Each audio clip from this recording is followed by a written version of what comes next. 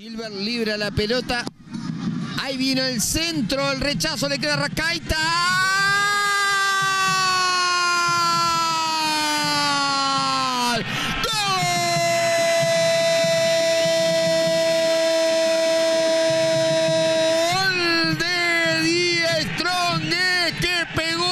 Zarpazo justo a tiempo con el objetivo de dejar huellas indelebles y pasa a ganar la Royal Party por un tanto contra cero por la eficacia de Arrascaita.